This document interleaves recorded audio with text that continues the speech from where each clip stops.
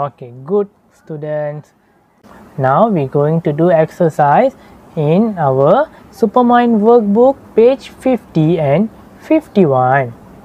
For the page, page 50, listen and tick the box. Kamu perlu tanda siapa yang kata ayat tersebut. 1. Where's Misty? 2. Hey, that isn't fair. 3. Here you are.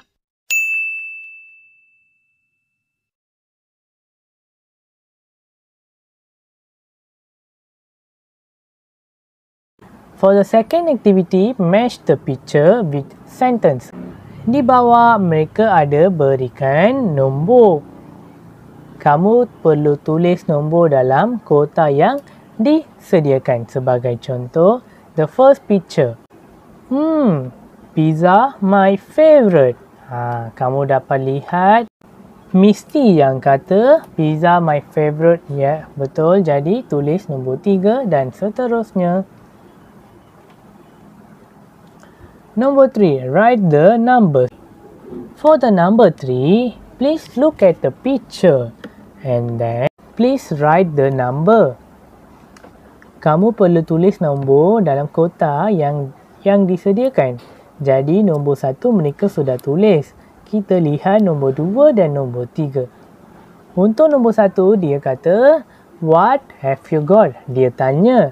Dia balas, "I've got cake." Jadi, apakah balas? Fantastic. Yes. For the second picture, chicken and carrot please. Orang minta chicken and carrot. Jadi, semasa kamu berikan makanan tersebut, sila balas dengan here you have. For the page number 51, look and circle for the value. Which one is correct? Adakah nombor satu atau nombor dua adalah betul? Nombor satu mereka tengah beratur.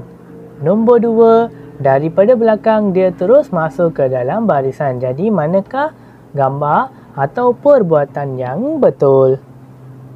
2. Say and colour. Listen, point and say. Black. Hat. Bag. Orange. Doll. Box. Red. Desk. Pen. Pink. Milk.